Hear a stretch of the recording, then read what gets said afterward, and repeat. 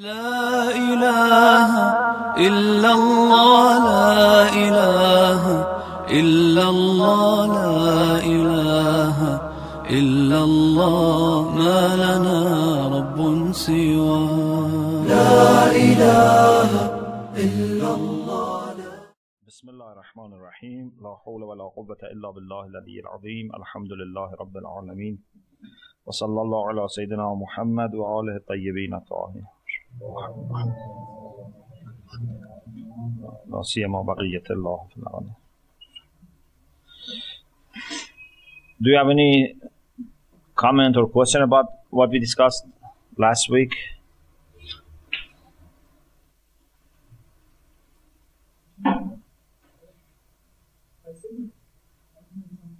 Yeah.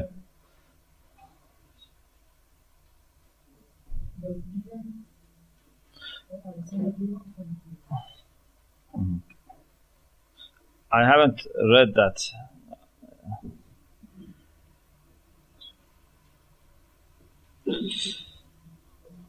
So about what we discussed in the class, if you have any question, otherwise we can continue. Basically what we said was that Allama Tabatabai Rahmatullah wanted to explain that although everything is a creation of God, but we can distinguish between two aspects. One is the existential aspect, and from that perspective, it's created by God. The other aspect is the moral side of it, which is where we connect the action to the agent, to the human being who is doing the action. From this side, it can be moral or immoral, can be good or bad. The connection to Allah subhanahu wa ta'ala does not determine whether this action is moral or immoral. It's the person who decides whether this action is going to be a good action or bad action. Because everything which is created by God is good. But when we say this action was wrong or bad, this is not because it is created by God. If it is created by God, it's good. This is another aspect, and this is based on the agent, on the doer of the action. And Allama then referred to some verses of the Quran about uh, bad actions being from us. And then he shifted to bad events, unpleasant events, and wanted to say these unpleasant uh, events are also because of us. Whatever sayyah comes to you, it's from you, because of you. Of course, he explained that because Allah may create something, for example, an earthquake. Because of this earthquake, I may lose my house or my health. This negational side mm, is what I say it's bad. But this is not what Allah has created. Allah has created earthquake. It's for me that this is bad because I have lost something. So what is bad is negational. What has been created by God is something positive. Okay. I mentioned what I think to be the case, so I don't want to repeat, you know. Then we move to the hadith from Imam Raza alayhi salam. And in particular, I very much loved uh, this sentence that Imam says, ما أصابك من حسنة فمن الله وما أصابك من سيئة فمن نفسك وذلك أني أولى بحسناتك منك if you remember, according to what was my understanding, I said both good and bad actions are creation of God. But when it comes to bad action, we are responsible. We cannot blame God. Although God is involved. Because He is the ultimate cause. God is involved. But He is not responsible. I mean morally. although from a philosophical point of view, he's also responsible. And you can ask him, why did you let this happen? Why did you create this person who did this? But he has all the answers, and if there is anything wrong, we have to accept the responsibility. But if there is something good that we have done, most of credit goes to God. Although we can praise the doer, but because the doer, his existence, his power, everything is from God, so most of the credit goes to God. And this hadith confirms that. It says, Anni awla bihasanatika mink. Means you have a role in hasanat, I have a role, but your role is very little. My role is more. But when it comes to sayyat, your role is more. وأنت أولى بسيئاتك مني. So, uh, in a real sense, not in a metaphoric sense, in a real sense, everything good comes from God. ما أصابك من حسنة everything good comes from God. And everything which is bad in the sense of either bad action, it starts from us. Or even if you remember, I said even about unpleasant things, I said it's up to us to make them constructive or destructive, good or bad, positive or negative. I can make a tragic event hasana or sayya. And this is also from us. If we make it sayya, again, everything good is from God. Everything good is from God. You know, it's like, for example, if there is light here, this from God. If it is darkness, it's because we have turned away from God. So darkness is from God. Light is, sorry, darkness is from us. Light is from God. It's real. It's not metaphoric. Anything positive is from God. Anything negative is because we are far from God. We have turned away from God. Anything negative. Yes. Allah has a greater role in our duties.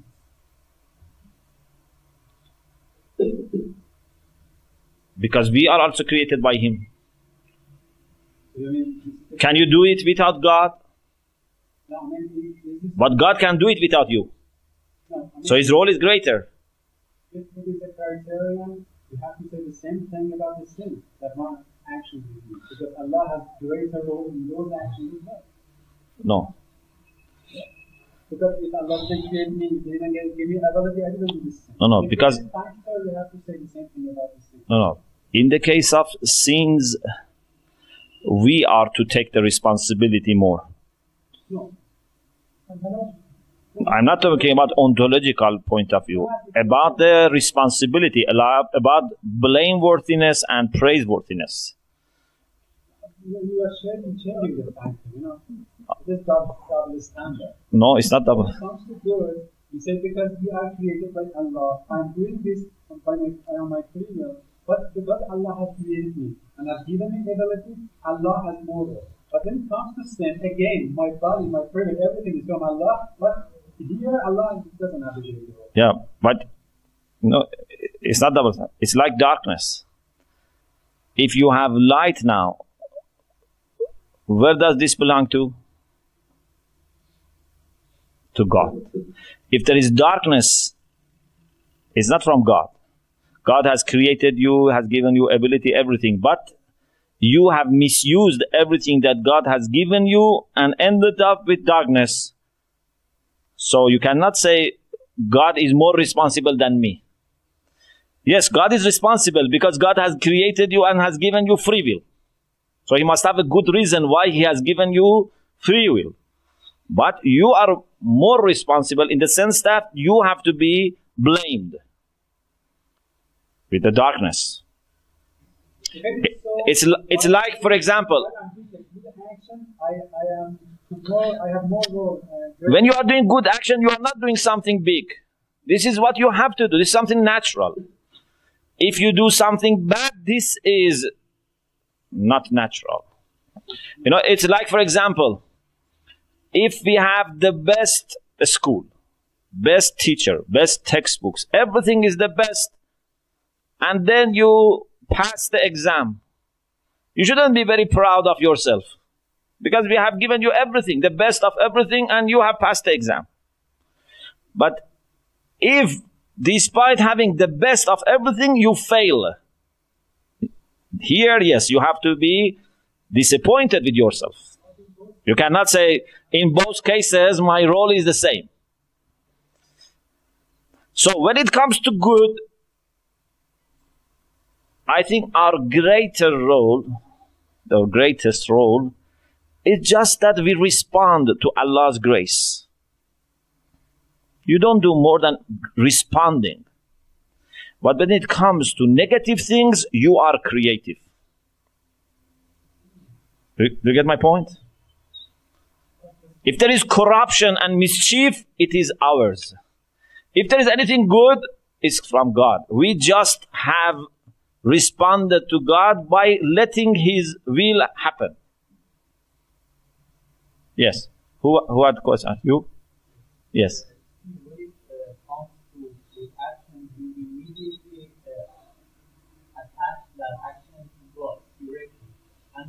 somehow neglect the role of uh, intercession, the role of human beings for uh, No, I didn't. I said most of credit. I didn't say all credit. You are also praised. As Imam Raza said, أني أولى بحسناتك مني. You have a role, but Allah's role is more. I don't deny the role of the agent. And this is why it, the agent is rewarded. Is praised. He has a role. But his role compared to Allah's role is very little. one one doesn't concentrate on this role. Pardon? He said, oh yes, The verse yes. ما أصابك من حسنة فمن الله. Okay. So, what is the problem?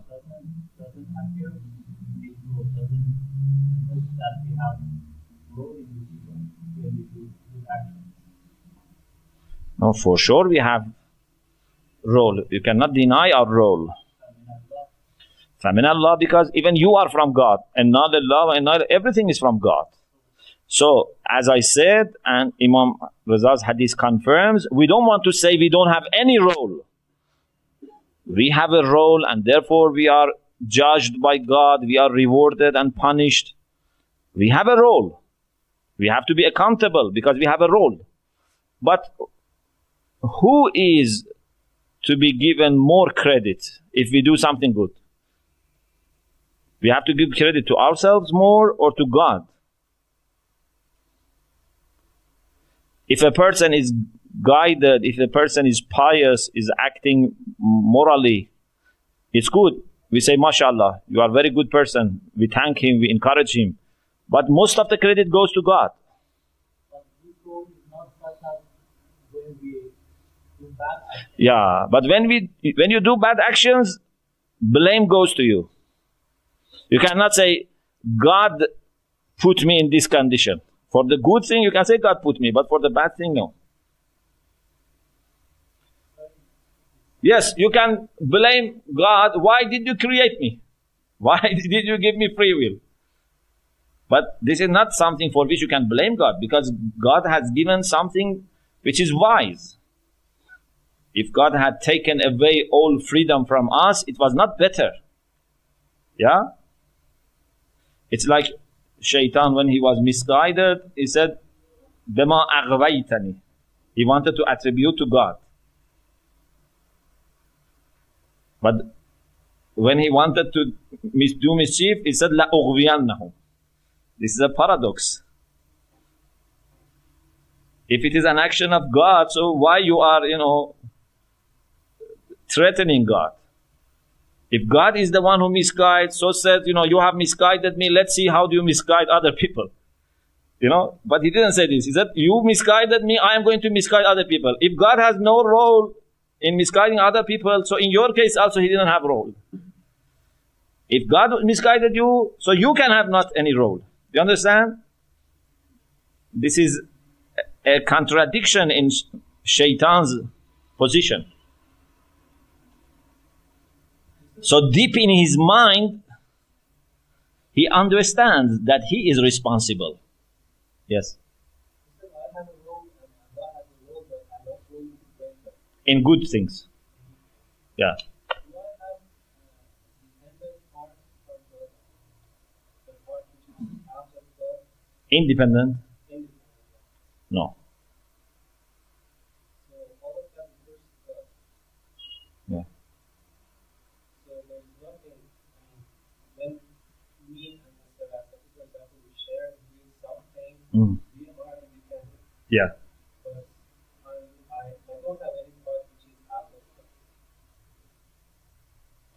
But but when it comes to exercise of your free will, God has let this to be decided by you, whether you want to use it in the good way or bad. Emma shakiran wa emma kafura. Of course, if you do something good, it's by the help of God. If you do something bad, again, it's by the help of God. But it's you who decide whether you want to do good or bad.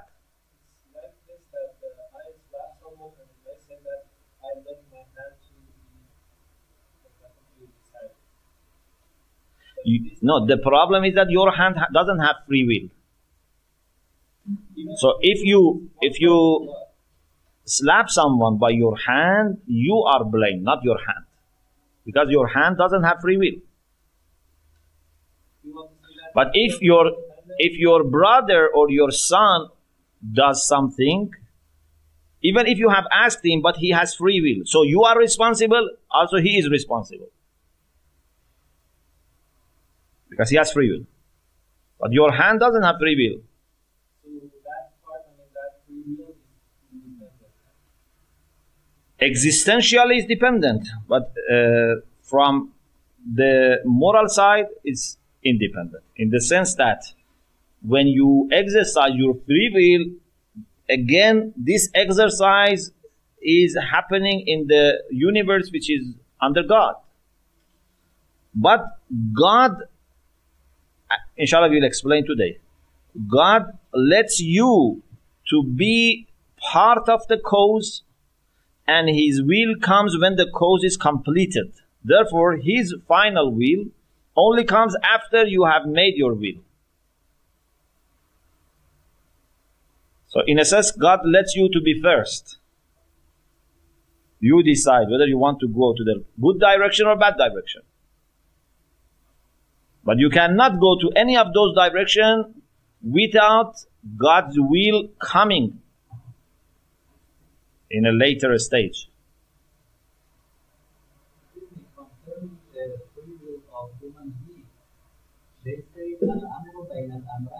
Yeah. Between Jabr and Tafwiz. La Jabra wa la. Tafwiz means that God has delegated everything to us. He has no role. We don't accept that.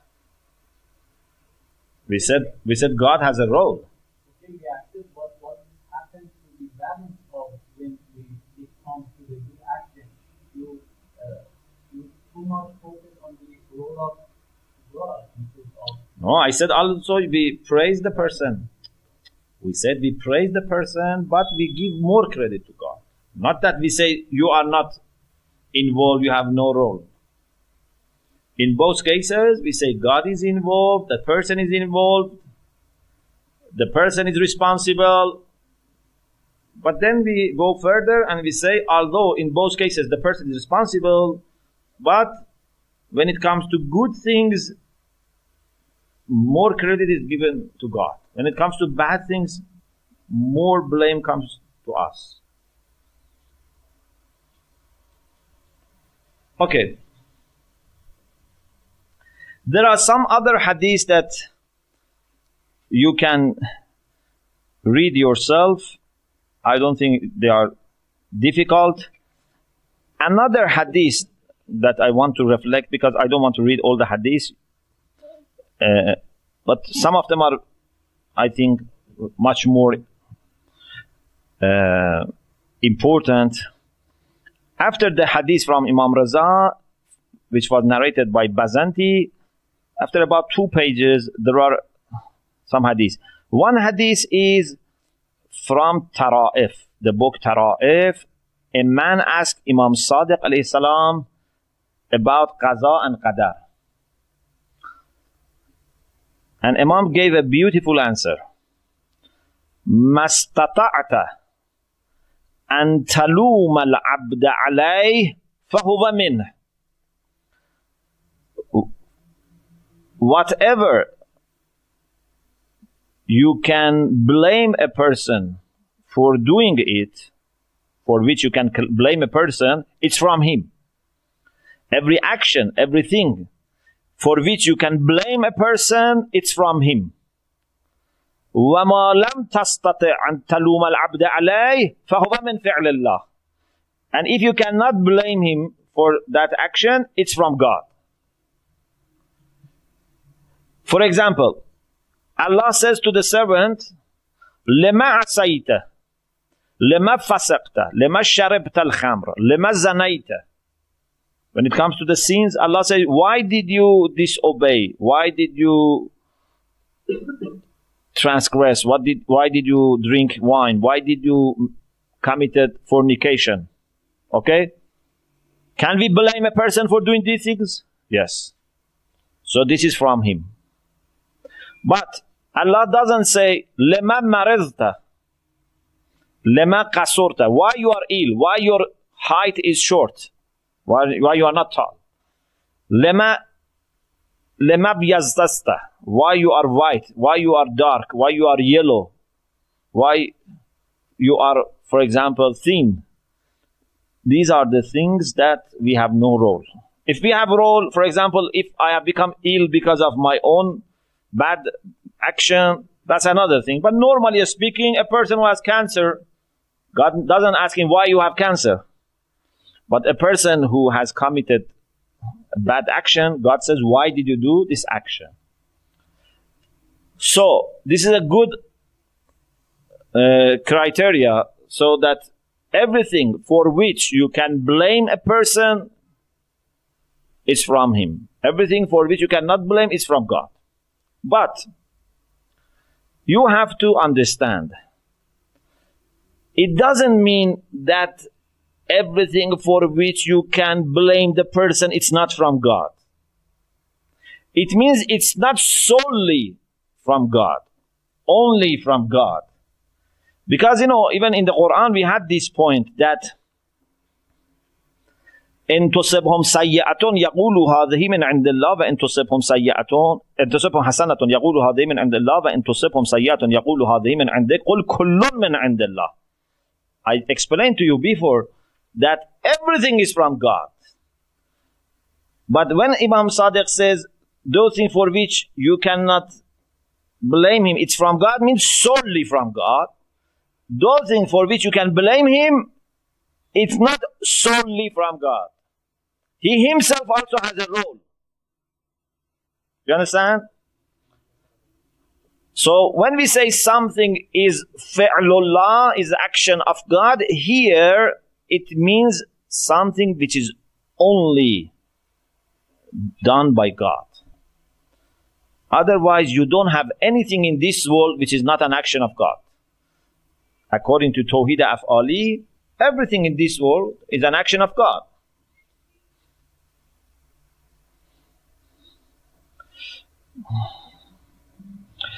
Then Allama Tabatabai says that altogether, when we study the hadiths which are related to the issue of Jabr and Ikhtiyar, we realize that there are different types of arguments used in the hadith to support the human responsibility, free will of man. One is that the fact that Allah commands and prohibits, rewards, punishes, shows that we have to be free. If we were not free, why Allah commands us? You don't command a robot. You don't prohibit a robot. You don't say, if you do this, I will reward you. If you don't do this, I will punish you. You do these things with a person who can decide, who can be free. The other thing is that there are some ideas in the Quran that presuppose free will. It means that without accepting free will, they don't make sense. For example, Allah subhanahu wa ta'ala says, وَمَا رَبُّكَ بِظَلَّامٍ لِلْعَبِيدِ Allah doesn't do any injustice. You know, there is a discussion here. What does it mean that Allah is not Zallam? Because Zallam is mubalagha, means the one who does lots of injustice. So when we say Allah is not doing lots of injustice, does it mean that He does a little? Yeah? وَمَا رَبُّكَ بِظَلَّامٍ So the, there are different answers. One answer is that when mubalagha is negated, then it becomes mubalagha in negation. Okay? Negation of mubalagha becomes mubalagha in negation. So when you say Allah is not zalam, it doesn't mean he doesn't do lots of injustice. It means that he doesn't do injustice at all. Okay? This is one uh, interpretation. Another interpretation is that because Allah is the Lord of the universe, even the least amount of zulm that he does is a lot. So either he does lots of zulm or he doesn't do at all. You cannot say he does little zulm. With the magnificence of God and the power that he has, it's impossible to do little zulm. You know, if you look at, for example, a king or a president, a king or president, even if he makes one decision, that decision can have impact on lives of many people. It's not like a person without power. If a person who has a high position, for example, you know, if a grand ayatollah says one sentence negative about one person, that person may lose all his credit. Yeah? So for those who have high position, it's impossible to do little zulm. Either they don't do zulm or the zulm that they do is great. So Allah subhanahu wa ta'ala, when He says He is not a zalam, it's because impossible to be zalim, just zalim, just unjust. Either He is free from injustice altogether, or he is very unjust. For example, just the fact that he punishes us if we are not responsible, if we are not possibly capable of preventing that bad action. Do you think this is a little zulm? He asked billions of people that you must avoid sin, but they don't have a role. This is a great zulm. He sends them to hell when they have no control. In any case, Allah subhanahu wa ta'ala doesn't do any injustice. ما ظلمناهم ولكن كانوا أنفسهم يظلمون and so on and so forth. If you don't accept free will, this doesn't make sense. If you believe like Ash'arites that God creates good action and bad action in us, we have no role, we are only the place for his action, the subject, mawzu. Then this is zulm. Or when Allah says, لِلَّهِ مُلْكُ السَّمَاوَاتِ وَالْأَرْضِ This is against whom? When Allah says, لِلَّهِ مُلْكُ السَّمَاوَاتِ وَالْأَرْضِ This is against Ash'arites or Mu'tazilites. Mu'tazilite. This is against Mu'tazilite because Mu'tazilite say Allah has delegated our voluntary actions to us. This is in contradiction with لِلَّهِ مُلْكُ السَّمَاوَاتِ وَالْأَرْضِ You cannot say لِلَّهِ مُلْكُ السَّمَاوَاتِ وَالْأَرْضِ means that there was a time that he had this kingdom, now it's limited.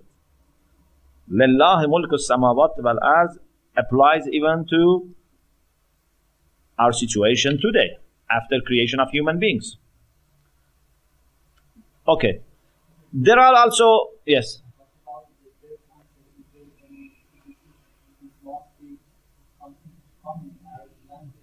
What?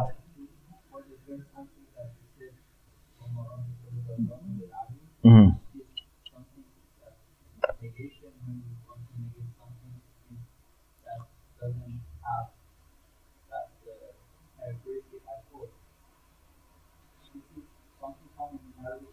Not, I, I don't think it's very common, but it has examples. It has case, similar cases.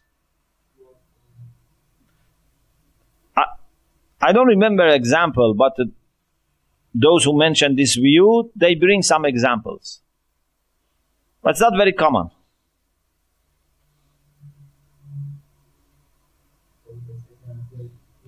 I think the second answer is better.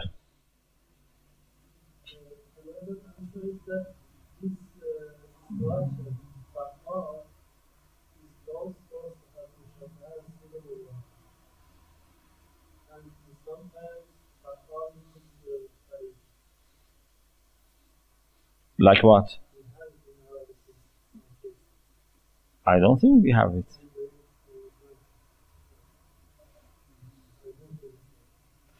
Because it's either mubalagha or shows uh, occupation of someone. And occupation also is something which happens a lot. You know, like for example, when if you say this person is khabbaz or tammar or. Uh, but if someone, for example, sells uh, bread once, we don't say it's his khabbaz.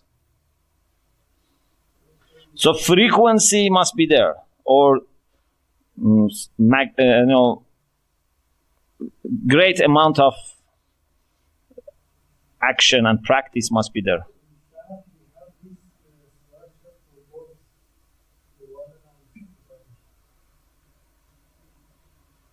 I don't know.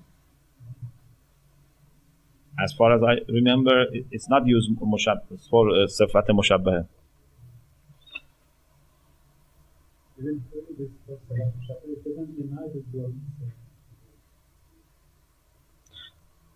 No, he wants to say that it uh, then zallam means just zalim. So Allah says he is not zalim. But there must be a reason why he doesn't say Vama Rabbuka Yeah. Why he doesn't say Vama Rabbuka bizalimin? Why he says Vama Rabbuka bizallamin? I think God wants to say that even if I do little zulm, I am zallam.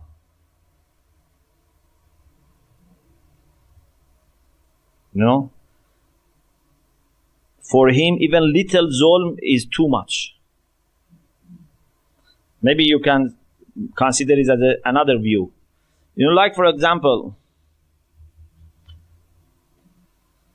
uh, if you have a child, a small child, especially if you have a daughter, okay, three years, four years old, who loves you very much, there is no way to break her heart a little. Either you break her heart altogether or you are kind to her. You cannot say, I break her heart a little. So, in the case of God, God is telling us that any little zulm that I do to you is great. And I don't do great zulm. No? For someone like God to do little things, eh, you know, unjust, it's great.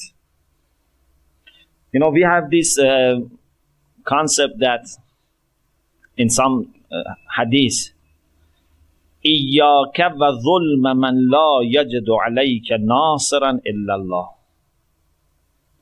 Be very careful not to do injustice to someone who has no helper other than God.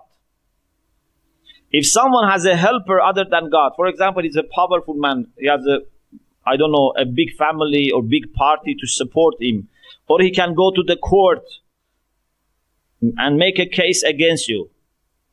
It's bad to do zulm. But it's not as bad as when you do zulm to someone who has no one to help him. Okay? This is very bad. You have to be very careful. Like your children. Yeah, sometimes like your wife. They don't have anyone to help. So you have to be very careful. Now imagine about Allah Himself.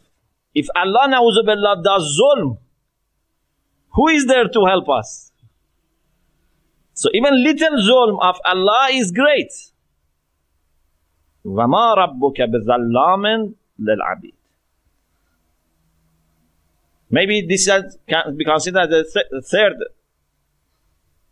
answer. Okay. Another argument that we find in hadith about what? Uh, about free will and against jabr is that there are some qualities of God that cannot be understood unless we believe in free will. If you believe in jabr or tafwiz, we cannot understand them. For example, Allah is qahhar and qadir.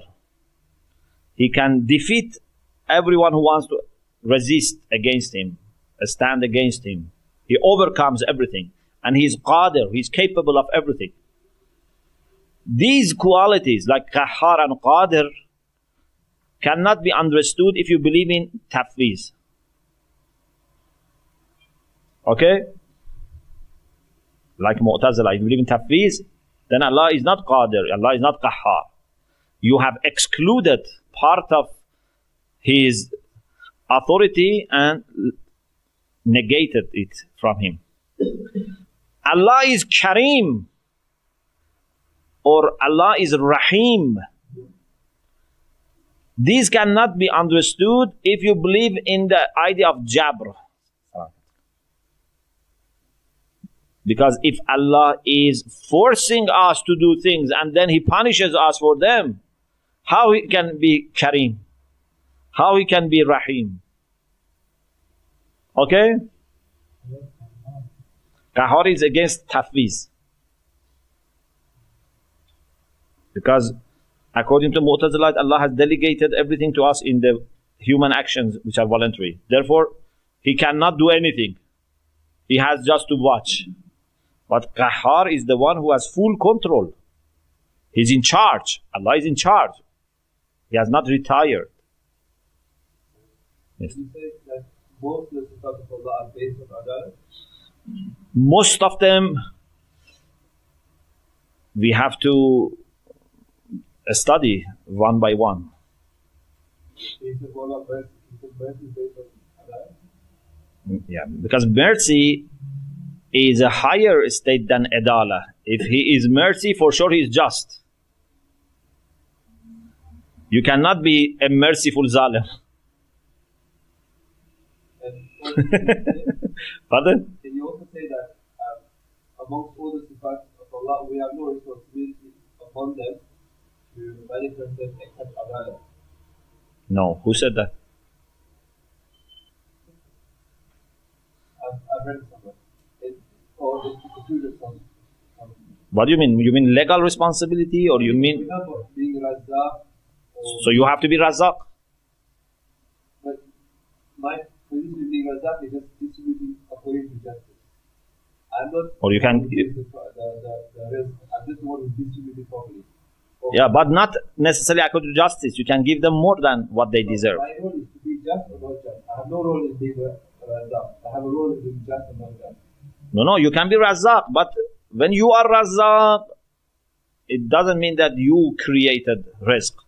But you are razak means in the sense of you are the provider. But did you create justice? You created justice. I it's What- the, the, the, We observe justice. We don't create justice. We observe justice. But it is true that the, relationship of us with justice is much more than the relationship of us with the other sifat of Allah. What about mercy? Same, we, we, we portray mercy in a just way, according to, according to justice. No, mercy is more than justice. Indeed, mercy starts after justice is achieved.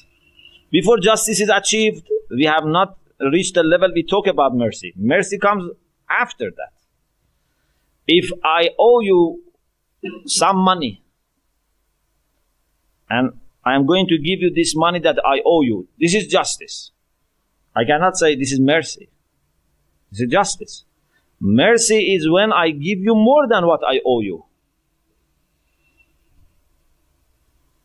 For example, the whole spirituality of the whole is based on the fact that you have to be adalah to the side of nothing. So the whole, whole- our whole interaction with everything, has to on adalah. There's, there's more emphasis on it than other. Ah, yeah, this is a very good question. In uh, the science of akhlaq, according to Aristotle and those Muslim scholars who somehow follow Aristotelian approach, they say that when you reach balance in every faculty, then you have justice. So if balance in the faculty of anger and faculty of appetite and faculty of reasoning is achieved, then you have wisdom, bravery, and modesty together. So it means that you have achieved justice in your entire personality. Okay? So for them, this justice is very important. But it seems that this justice is different from that justice that we use in the sense of giving everyone his right. This is a more comprehensive understanding of justice, which includes also my relation with myself and also which includes reaching the highest level of perfection. You know, if justice is just understood in the sense of not depriving from their right, depriving people from their right, then mercy is not necessary. But, or it has nothing to do with wisdom, for example.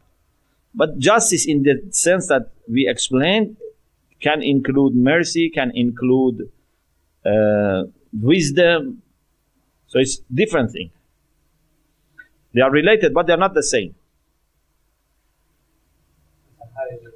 So yeah, so this justice is very comprehensive, and you cannot find anything outside this, because for them this is a condition of the entire personality of someone. So any other good is included in justice in this sense, and this is much more than justice in a legal sense that you give someone his right. No more no less. Is it a characteristic of i get yeah i got you. Is it a characteristic of a merciful person to create bad actions in someone and then send him to hell? Can you say, call such a person rahim no they cannot say this is okay. No they say something. Yeah. No no you know sometimes people say something in some place but still deep in their mind they have good understanding. So we want to awaken that understanding which is there so we say okay forget that case because they have uh, discussed too much about you know that case of hosnoqob maybe they have lost their common sense so we say forget that let's go a little bit farther you understand Rahim? He says, yes. Do you think that someone who is Rahim can create bad action and send them to hell? Yes, if he thinks carefully, brings his position from there here, he says yes. But if you can ask him quickly and you know don't let him you know to bring his ideas and make them consistent, so he refers to his common sense. And he says no. We have many cases like this that we try to ask people to refer to their conscience, to their God-given understanding. Even, you know, in the case of, for example, you know, tabadur and ittirad and things like this, what we do is that we ask people to go to their, you know, unconscious understanding. And, or for example, you know, in uh, philosophy, you know, there are people who, for example, have said that when we use being for wajib, it has different meaning than when you use it for mumkin. And then ulama mention, you know, some argument against them. And they say, you know, for example, when you say, uh, for example, God is mawjood, does it mean that God is ma'doom? Because this wujud is not the wujud of mumkin. So does it mean it's ma'doom or you don't mean anything? So if you reflect on that argument, you realize that argument can only work if that person's understanding of Adam is yet untouched. Otherwise, if that person says the same thing that he says about wujud in Adam and says that Adam also has two meanings, when it is used for wajib has different meaning from when it is used for mumkin, that argument doesn't work. Many people who study philosophy, they have this question. I don't know if the teachers can give them right answer, but this is the right answer. That the reason we use this argument is that because we hope that still their understanding of Adam is not touched. Okay. The other thing that we find in hadith is that we find the concept of istighfar, asking for forgiveness. Or, you know, that a person who does something bad blames himself. We have nafs al things like this in the Quran and in Hadith. Do you think there is a way to talk about forgiveness, asking forgiveness from God? According to Jabr, if there is jabr, why we should ask for forgiveness? We haven't done anything to ask forgiveness. Yeah? Of course, if a person is really insistent on jabr, he would say, we are majbur to ask for forgiveness. but as I said, you know, we hope that he is not that much damaged, you know, in his conscience. So when we regret and we are remorseful and we say, you know, God, sorry, you know, I am very sorry that I did this, it means that it was my action. If I was forced, why should I regret? If I was forced, I had no role. There are also some hadiths that Allama wants to explain at the end of this discussion about attributing misguidance to God. What does it mean that sometimes in the Quran Allah says He misguides? Yudhillullahu zalimin, for example. What does it mean? If you remember, we had this discussion before. And we said when we say God misguide, doesn't mean that initially, without any reason, God misguides someone. It means that a person who has been offered guidance and he doesn't pay attention and insists on being misguided, then God lets him to be in that condition. Even that condition may become worse. Like fire. You remember the example of fire. He said if there is fire in one floor and you don't extinguish the fire, the fire will expand. في قلوبهم مرض فزادهم الله مرضا. But you are responsible. I had a teacher who said, uh, I heard from my teacher that he was a student of Allama Tabatabai. Mm. And he said, he asked a question from Allama Tabatabai, and he said, uh, we are like this pen on this, at the edge of a valley. Allah doesn't need to misguide us. It is not just to let us go. He can just let us go with fall. And that is why uh, the Prophet says, Allah ilaha takilni ala nafsi ta'lamun abada. Means uh, there are all uh, mm, uh, encampments and uh, misguidings of shaitan coming to us and all these, uh, I don't know, natural uh, tendencies to do sins. And if there is not Allah's guidance, special guidance, and if Allah wants to let us on our own, we fall down, surely fall down. And this is the misguidance. He doesn't need to misguide us. He just, it is enough just to let us go on our own way. So if he leaves us to ourselves, this means misguidance. Why?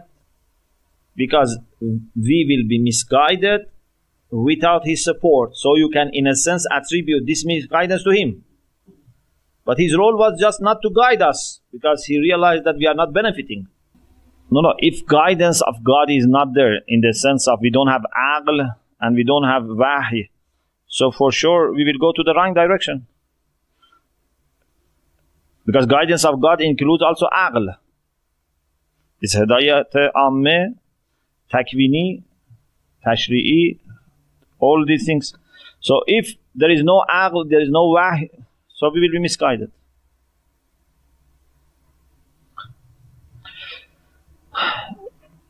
There is a hadith from Oyun Akhbar al-Rida from Imam Raza alayhi salam commenting on this verse وَتَرَكَهُمْ فِي ظُلُمَاتٍ لَا يُبْصَرُونَ Of course, this verse is very soft because it says تَرَكَهُمْ But then we have, for example, خَتَمَ اللَّهُ عَلَى قُلُوبِهِمْ that is stronger. تَرَكَهُمْ فِي ظُلُمَاتٍ لَا يُبْصَرُونَ means God left them in darkness. Yeah? Of course, if you read it from the beginning, you realize that left them in darkness, in a sense, means remove their light. Because Allah is talking about them having a light, and then when, pardon? Um, then Allah takes their light and leaves them in darkness. So tarakahum just means to leave them in darkness, but before that mentions that God removes the light. So Imam Raza alayhi salam said, إن الله لا يوصف بالترك كما يوصف خلقه. Allah doesn't leave anyone, you know, in the sense that, for example, we leave a place and we leave some people. But when Allah knows that they are not returning from kufr and misguidance, Allah says that sees that they are insisting on misguidance.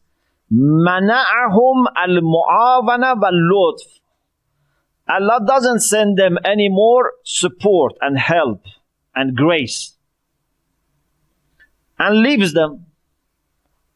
خلى بينهم وبين اختيارهم. Allah lets them to be with their own decisions and free will. So, when Allah doesn't help us, it means that He is leaving us to ourselves. okay? Like a doctor. Uh, let me first excuse this doctor. there is a doctor. This doctor sees that there is a person who is ill. Says, you know, you should not eat this food. You should, you know, take this medicine, this medicine. Give him some instructions and prescription. But the ill person doesn't listen. He tells him, he doesn't listen. Again, he doesn't listen. At the end, what does the doctor do? He says, Goodbye. I leave you with your illness. I have other things to do. تركهم في ظلمات لا يبصرون. He leaves them with his illness. Okay, what's your question? even in that case, Allah doesn't uh, send any support for them, or Allah does support, but they do not receive. That light is support. But when they do, you don't use that light, Allah takes it away. Allah sends, for example, Quran. نُنَزِّلُ مِنَ الْقُرْآنِ مَا هُوَ شِفَاءٌ وَرَحْمَةٌ But if someone doesn't benefit, وَلَا يَزَادُ الظَّالِمِينَ يَزِيدُ الظَّالِمِينَ إِلَّا خَسَارًا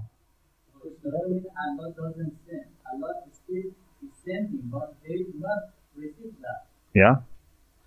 So then he stops sending. First he sends. Then when they don't use, he stops. لئن شكرتم لأزيدنكم ولئن كفرتم then he doesn't send anymore إن عذابي لشديد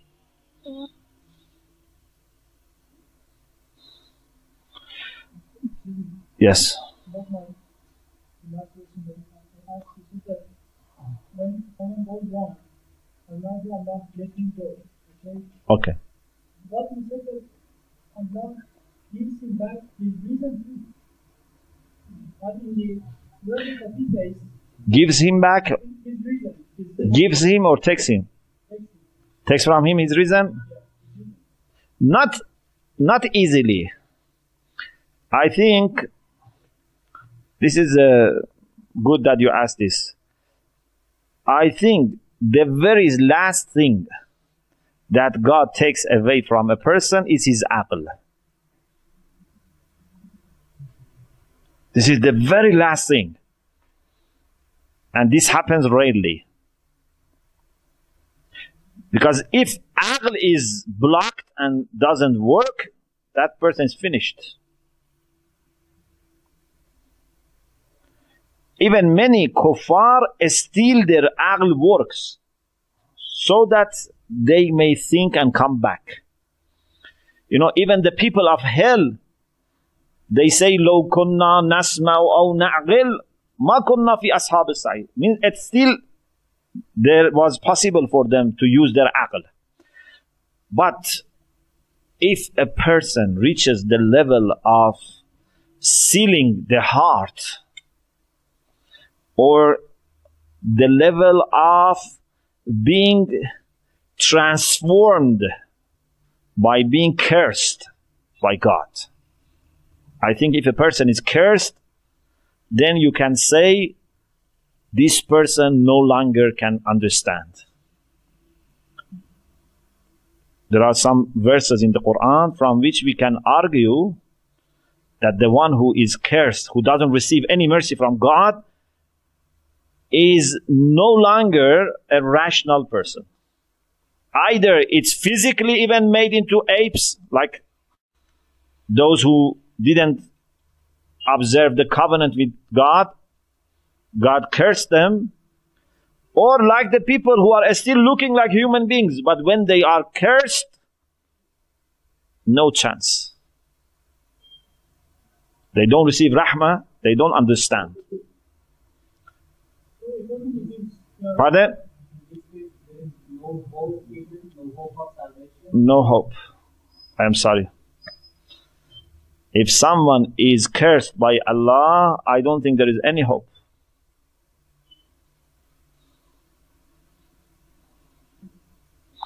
But if you don't accept this, you know, go and study the verses of the Quran about la'n and see whether you can accept this or not. This is my understanding. Those who are cursed by God, their heart becomes hard. جعلنا قلوبهم قاسية. They become like animals. They don't receive any guidance from God, any support from God. Therefore, there is no return for them. The people who killed Imam Hussein on the day of Ashura, I was thinking why they did such a brutal thing. They could have just killed Imam Hussein and finish everything. There was no need, you know, to do all these crimes. But I came to this conclusion that these people were cursed by Allah subhanahu wa ta'ala. You know, even Imam Hussein warned some people that if you are not going to support me, go away. Because just to hear my call and not answering me is enough to be cursed. Let alone if you want to fight. When they were cursed, then they became like animals, like wolves. They lost their understanding. A person who is mal'oon, you can expect everything from him. Even he can do something that animals don't do if he is cursed. But most of the people don't reach that level.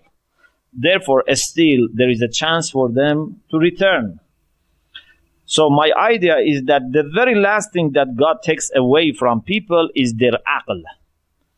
So that hopefully one day they may think and return. You see, in many verses, Allah even says to the kuffar, don't you think, don't they think, if there, it was not possible for them to think, why you encourage them to think? Why you expect them from, you know, from them to think? So thinking is a great blessing of Allah that Allah leaves it to the latest, you know, possible time. Doesn't take it away soon. It remains as long as possible. Yes. Is?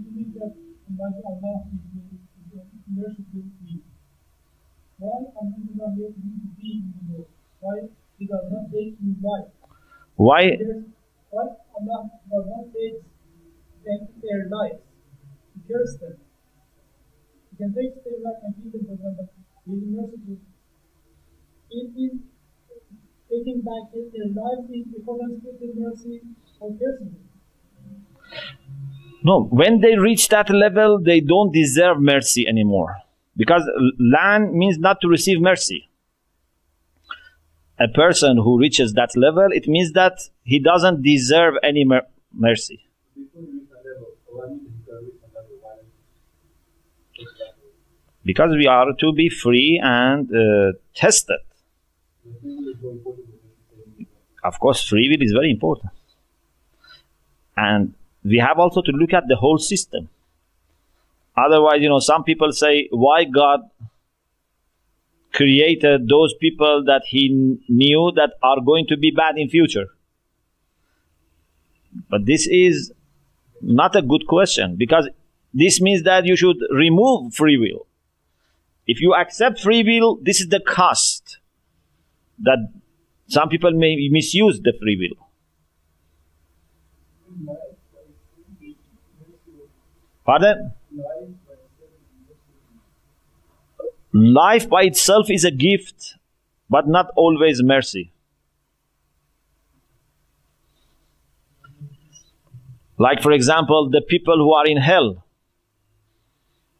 They say to the angel who is the patron of the hell, Ya Malik, لِيَقْضِ عَلَيْنَا رَبُّكَ They say, please, you know, ask your Lord to finish us, to terminate us.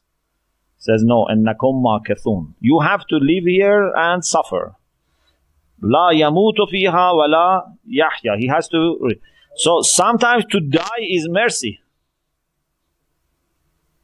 Sometimes you don't die so that you suffer. But to begin with, initially, of course, life is a mercy from God. But for some people, life is to suffer.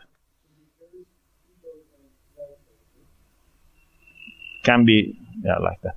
I think he was uh, before you, yeah.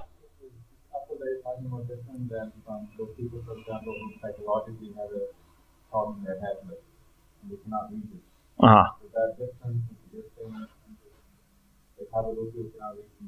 Those there- who cannot reason, who cannot think, are of two types. Okay? Then we can see which one we are.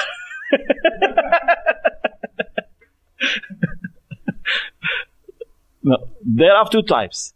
Some of them, all their life, they have been like this. So they never reach the level of understanding.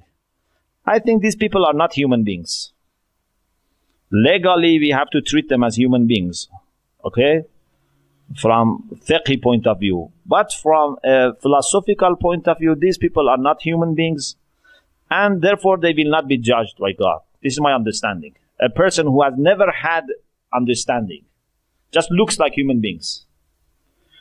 But there are people who have had understanding, then because of some accident, some illness, a problem started, they don't think properly now.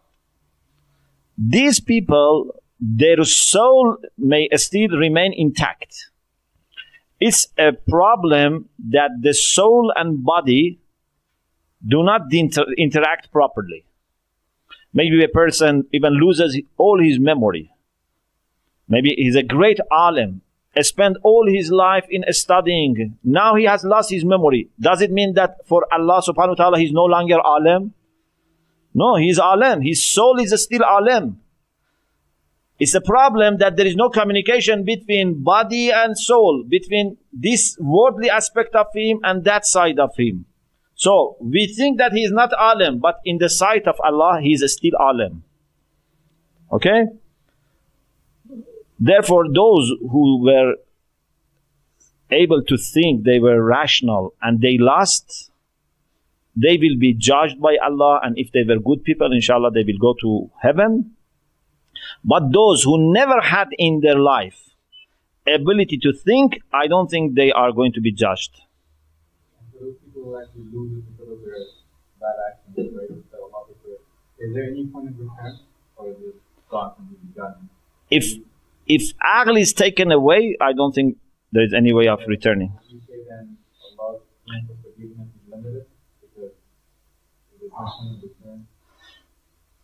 It's not that Allah's forgiveness is limited, but forgiveness must be wanted. If you don't want to be forgiven, then you will never be forgiven. Forgiveness is to forgive those who want to be forgiven, those who regret. If someone doesn't regret, so you cannot. No. He must regret where it is beneficial. Otherwise, when they are dying, everyone regrets. When everyone is seeing the angel of death, they all regret. That is not useful.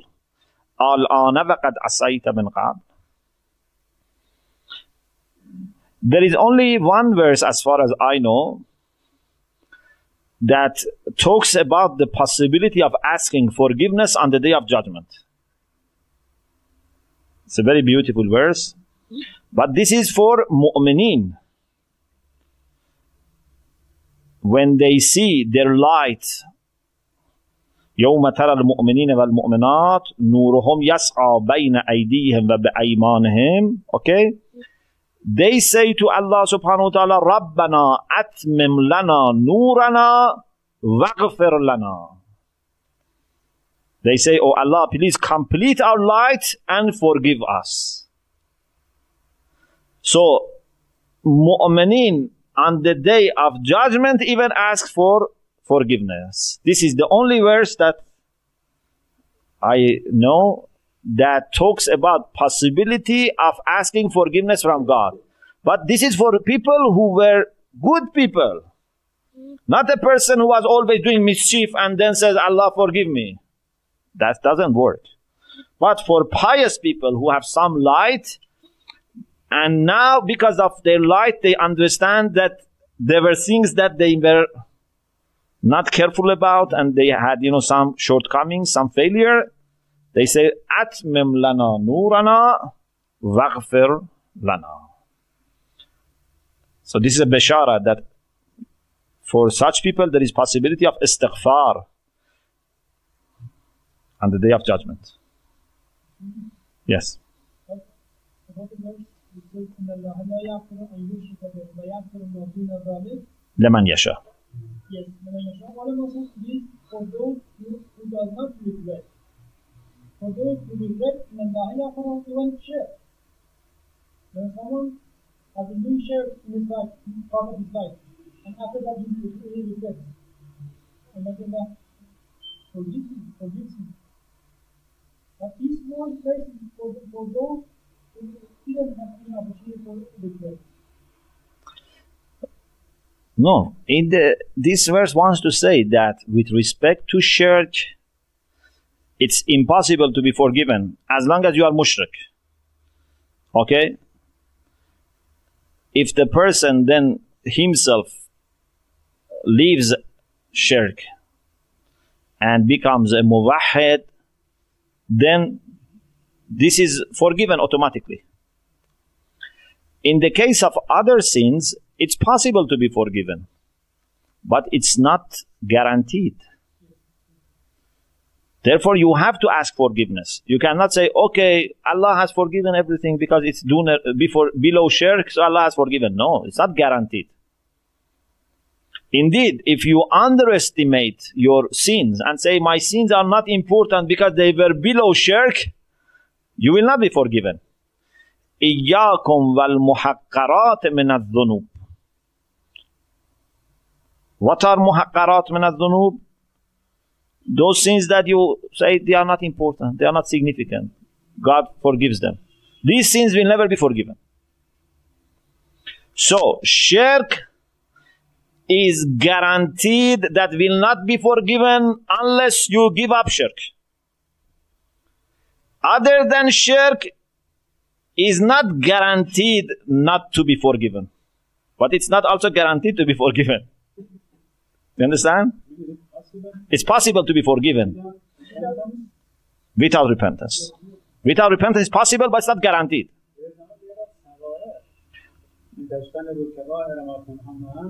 and there is also your criterion. If you avoid then Allah will forgive you This is guaranteed. you know, shirk. What you're saying is that possibility of repentance. because Allah says, if you avoid shirk, lower than shirk will be forgiven. If it was about tawbah, so even shirk with tawbah is forgiven. So, shirk is guaranteed that will not be forgiven. Unless you give up shirk. As long as you have shirk, it's not forgiven.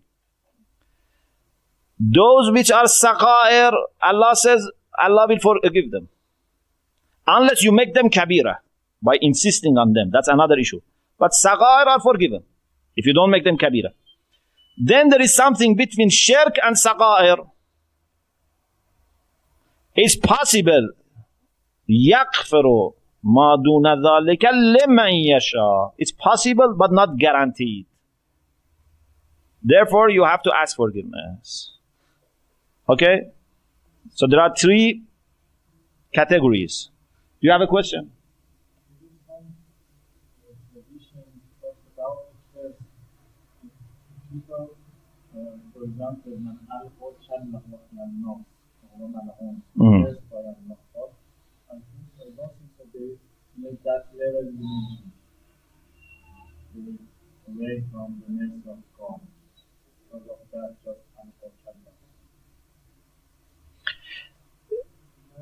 In uh,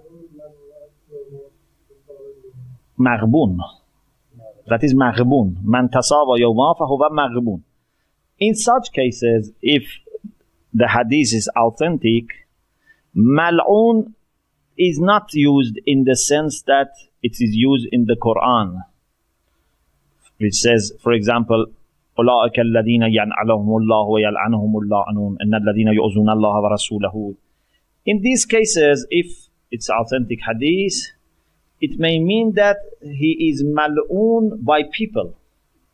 He's someone who is disliked by people or, you know, by good people, by mu'mineen, something like this. Not that someone who doesn't receive any rahmah from Allah. Do you understand the difference? Isn't it cares by God, by people. By people, by mu'mineen, maximum. But not in the sense that he becomes like uh, the people who annoyed the Prophet. Therefore, for such people, there is hope of change. Can we say there is some levels for cursing by God, even Quran? Yeah, the Quran says, Yal'anuhumullah wa yal'anuhumullah inun. These are the people that everyone curses them. So the maximum or the highest level of being cursed is when Allah Himself curses you. Because Allah is the most merciful one. Sometimes, you know, people curse you, but still the Prophet may not curse you. Sometimes people curse you and the Prophet also curses you, but Allah may not curse you. Yeah, there were, you know, prophets who cursed their people. And Allah was not happy. Why did you curse them?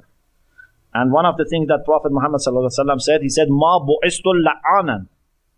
Yeah, sabbaban wala la'anan or la'anan wala sabbaban, something like this. Allah has not sent me to curse people. But there were prophets who before Allah cursed their people. The people were destroyed, but Allah was not happy.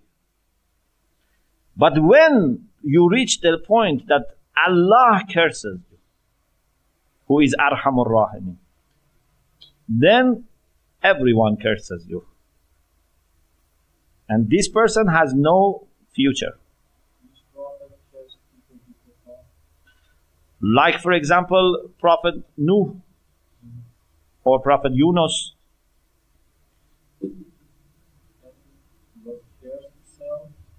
No. I don't say he himself was cursed, but Allah was not happy. And this is why uh, Prophet Yunus, Fanada fi zulumat, Allah ilaha illa ant. No, I don't say. He cursed his people. He cursed his people. Prophet Nuh also cursed his people. He said, La tazar al al-ard kafirina. I'm not saying Allah was not happy with Prophet Nuh. I don't know, but uh, it seems that with Prophet Yunus he was not happy because Prophet Yunus then regretted. Yeah, and ظن أن لن نقدر عليه.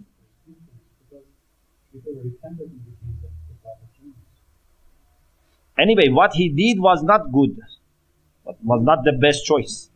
Therefore, he asked for forgiveness. Anyway, whatever was the reason, what he did was not the best choice. And Allah, if it's uh, lies, he was angry. Or it wasn't, the- it is not the same that the Prophet knows. Because people didn't get sorry, didn't regret. So you say, uh, uh, I- don't say there is. The question is uh, when. It's the lying the Prophet knows. You- I'm saying about Yunus. No, no. I, I told him. I said about Nuh. I don't say Allah was angry. About Yunus, I said uh, it seems that Allah was not happy. Because it says وَظَنُّونَ إِذْ ذَهَبَ مُغَاضِبًا فَظَنَّ أَنْ لَنْ نَقْدِرَ عَلَيْهِ فَنَادَى فِي الظُّلُمَاتِ أَنْ لَا إِلَهَ إِلَّا أَنْتَ سُبْحَانَكَ إِنِّي كُنْتُ مِنَ الظَّالِمِينَ And there are hadiths which says that he realized that it was not ha- uh, right for him. In the case of Nuh, he also cursed people. But maybe it was okay. I don't know. In the case of Prophet Muhammad sallallahu wasallam, he never cursed people. Even in the day of Uhud, when they killed Hamza and many people, they injured the Prophet, broke his teeth. He didn't curse them. Indeed, he prayed for them. He said, Allahumma hdi qawmi fa'innahum la ya'lamun. He said, Oh Allah, please guide my people. They don't know. Look at his kind heart. First of all, he says, these are my people, qawmi. He doesn't say these are, you know, uh, mischief makers, these are, you know, devil people. He says, Qawmi, these are my people. If you love me, these are my people. And then wants to bring some excuse for them. He says, فَإِنَّهُمْ لَا يَعْلَمُونَ For whom uh, Prophet says they don't know. The people who knew him for more than 50 years. Because by that time Prophet was more than 50 years. And right from the time of his birth, they knew about him. They knew he's an honest man. He never tells lies. Then for 13 years in Mecca, he was with them. Then few years in Medina. After so many years of knowing him and many years of his message, still he says, فَإِنَّهُمْ لَا يَعْلَمُونَ And you see that, Alhamdulillah, many of them later became Muslims. Many of them later embraced Islam. If the Prophet had cursed them, all of them were finished. So you look the difference between our Prophet and our behavior. If I speak to someone for one hour, I say he knows everything and he's not going to be guided. You know, we do Etmam Hujjat in just few minutes with people. But the Prophet said these people don't know. So there's a big difference, yes. Pardon? Yeah. Okay, so let me just uh, read one more hadith so that we reach the philosophical discussion. The other hadith that we have is again from Uyun Akhbar Rida about Khatamallahu ala qulubihim. Allah sealed their hearts. Imam said this was punishment that they received because of their kufr. الختم هو الطبع على قلوب الكفار عقوبة على كفرهم.